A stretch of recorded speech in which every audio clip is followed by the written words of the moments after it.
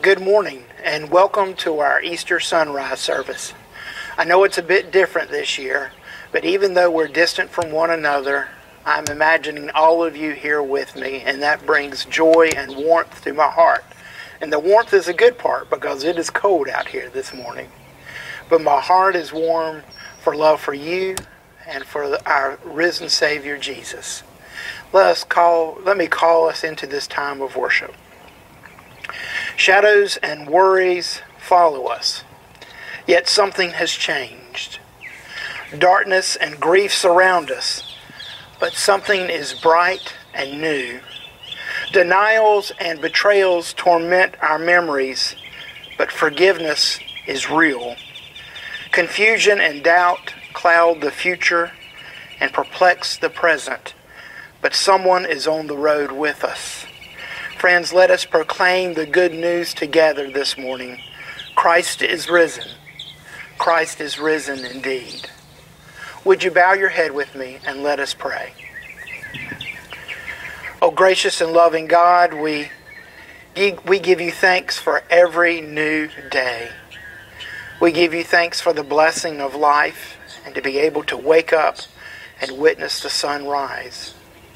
We give you thanks for the gift of your Son Jesus and for the price he paid.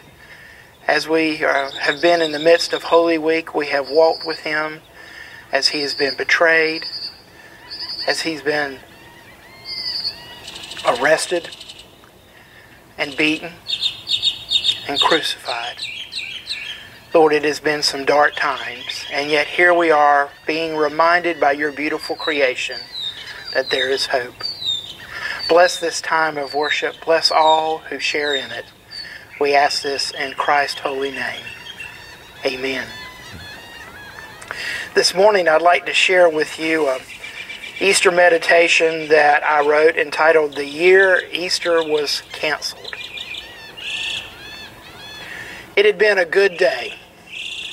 It was good to go to Sunday worship with the grandparents the lunch table was loaded with the traditional favorites. The afternoon nap was just long enough. It was a full but nice day, and now it was time for bed. Tell me the story again, please, Daddy. Tell me about the year when everyone thought Easter was canceled. Arthur looked at his daughter Elizabeth with a mixture of deep love but also a tinge of sadness in his heart.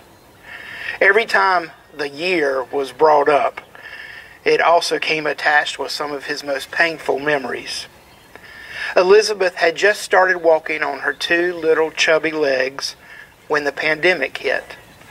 Obviously, she had no idea how drastically this virus would change her life interrupting Arthur's thoughts were yet another plea. Please, Daddy, please tell me the story. I promise if you'll tell it to me, I'll never ask you to do it again. If there was one thing Arthur was incapable of, it was saying no to his daughter. So he sat down on the side of her bed, picked Belle up, her favorite stuffed animal, from the floor, and tucked both of them in. And he began. Once upon a time, there was a mommy and a daddy who had a beautiful baby girl. She brought so much joy into their life, and they were very happy to be a family. The mommy and daddy used to love playing with their precious girl. Mommy was the best at reading stories and snuggling, and daddy could make his baby girl laugh more than anyone. She loved it when he made funny fishy faces with his lips and when he tickled the bottom of her feet with his beard. Life together was good. It was very, very good. One day, Mommy and Daddy started to become a little worried for their family. Someone who lived far, far away from their home became sick. This person didn't know they were sick, but they were.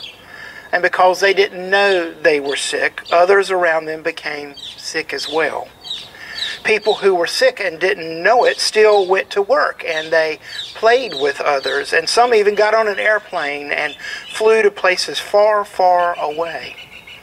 All too quickly, the sickness, or the nasty virus as they called it, started to make lots of people sick. In fact, it made people so sick that sometimes their bodies couldn't heal and they died. And this made families very sad. Well, the little girl's mommy and daddy did everything they could to protect their family. When everyone was asked to wash their hands, they washed their hands and the hands of their precious girl as well. When everyone was asked to keep their distance from each other, mommy and daddy were very careful to do so. When everyone was asked to stay at home, they stayed at home. They did everything they knew to avoid bringing that virus into their home. As scary as all this was, there were some good things about this time. Mommy and Daddy had more time to spend with each other and with their baby girl. Each night, Daddy would make a special dinner, and Mommy would read a special book. And then they would FaceTime with the baby girl's grandparents. Each time her grandparents would see her, they would say the same thing. They would say how beautiful she was and that she was growing like a weed. They would end their time by blowing kisses to each other. And all over the world, families were learning new ways to be families while staying at home. So, day after day, week after week, this was life. Without even realizing it, Arthur let out a deep sigh. Elizabeth, who had been listening, stopped playing with Belle and looked at her daddy. It's okay. I want to hear the rest of the story. Well, Arthur smiled at his baby girl and couldn't help but notice something from uh, another familiar face looking back at him. It was the eyes, he thought to himself. So he took a deep breath and continued. It was right before Easter when the mommy of the little girl became sick. Her parents had done everything they could to avoid the virus coming into their home, but somehow it had made its way into their life anyway. The mommy had to stay in her room, and the daddy and the little girl had to stay in theirs. The little girl was sad because mommy wouldn't read her books at night. She didn't understand why they didn't have their special snuggle time. The mommy very much missed doing these things with her precious girl. The day came that Mommy had to go to the hospital. She felt really bad, and Daddy felt really scared. And each night, Daddy and his daughter would pray for Mommy to get better and to come home. She never did. The mommy did everything she did she could do to come home, but she wasn't able to, and this made everyone very sad. All of Mommy's family cried when they had to say goodbye. For weeks, the news had been reporting that this would be the year Easter would be canceled. There would be no Easter egg hunts. No stores would be open to buy pretty Easter dresses with matching bows. The churches were even closed, so you couldn't even bring flowers and decorate the cross. Families who lived apart, they couldn't even eat Easter dinner together. However, on Easter morning, the daddy and his baby girl made an amazing discovery. After eating breakfast and playing outside, they came inside to rest, and the little girl wanted daddy to read a book. The daddy didn't know which book to read, so he just grabbed the closest one he could see. It just happened to be a children's book entitled The Story of Easter. Opening the cover, he immediately saw the handwriting and tears started flowing down his cheeks. On the inside of the cover, the little girl's mommy had written a note Dear precious one, I love you. Daddy loves you. And God loves you too. I'm so sorry I'm not able to read you stories. Daddy will do that for me. It's okay to feel sad. We all do. Please know that I am never far away. I'm in your heart and in the breeze and in the light shining down from above. I am your mommy forever. Happy Easter. Well, the daddy first thought to himself, there's nothing happy about this Easter at all, but he read the book anyway. He read to his daughter the story about Jesus and how much love he had for everyone. He read about how sad Jesus' friends were when he died and had to say goodbye. He read about how surprised they were to find out that Jesus was no longer in the tomb and alive. And he read about the joy that all of them felt when they were able to see each other again. And that was when Daddy remembered something very important. Easter reminds us that if Jesus lives, then we can live too. And if Jesus was raised from the dead, then God can do the same for us. And if Jesus was reunited with those he loved, then one day we can see our loved ones too. And when Daddy remembered this, he knew their family was going to be okay. The daddy laid the book down and gave his baby girl the biggest bear hug ever. Easter wasn't canceled. It couldn't be canceled.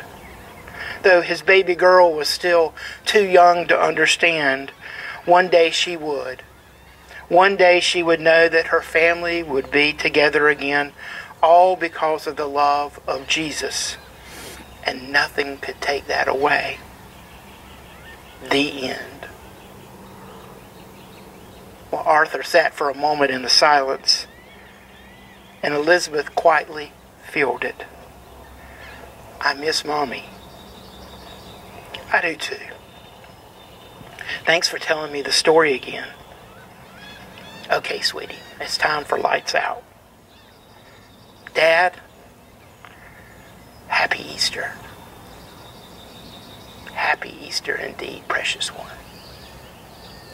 Let us pray.